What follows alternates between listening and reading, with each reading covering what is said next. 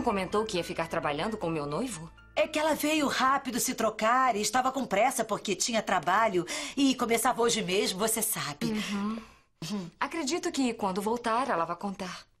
É, sei, claro. Mas senta um pouquinho, por favor. Eu adoraria, senhora, mas passei só um minutinho. Ainda falta ver tantas coisas para o meu casamento. Ah. Eu espero que a senhora compareça nesse dia. Eu? Mas como assim? Não, é que. Não, Não nada mesmo, de não. Eu não aceito desculpas. Eu quero ver a senhora lá. Por favor.